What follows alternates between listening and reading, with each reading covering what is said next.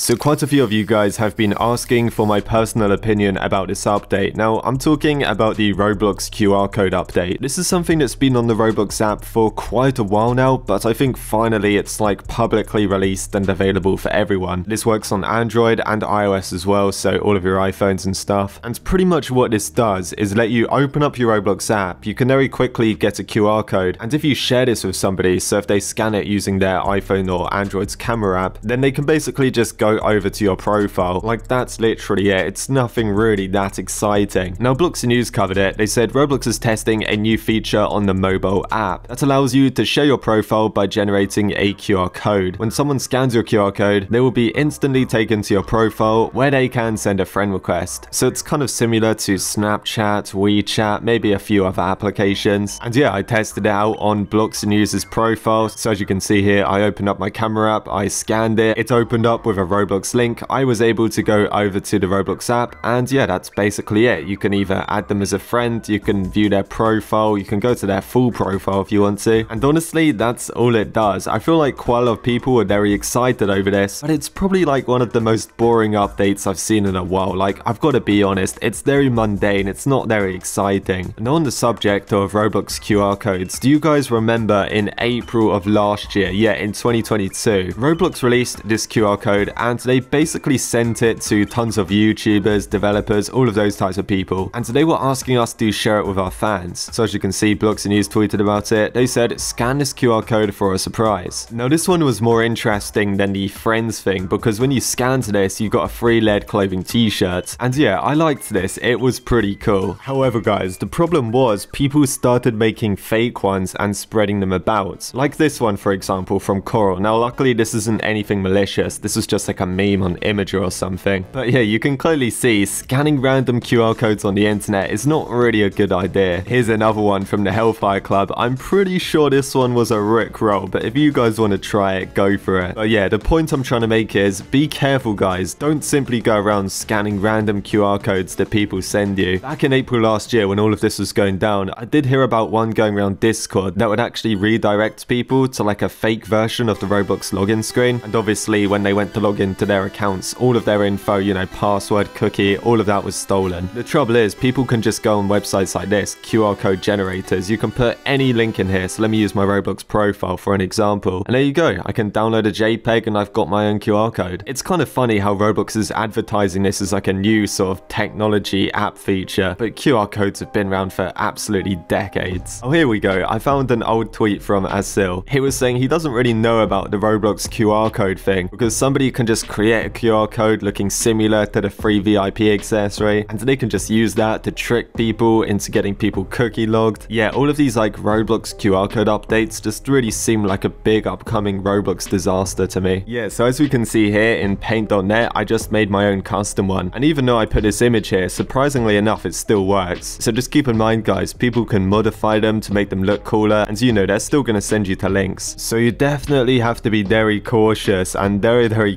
careful with this kind of stuff. Honestly, the best advice I can give you, if someone wants to add you on Roblox, just ask for their profile. Like, don't go and click links or scan QR codes. Literally ask for their username in text and yeah, you can't really get hacked over that. But anyway, guys, that's basically it. So if you enjoyed this video, leave a like, subscribe if you want to. Cheers for watching, guys. I'll see you in the next one.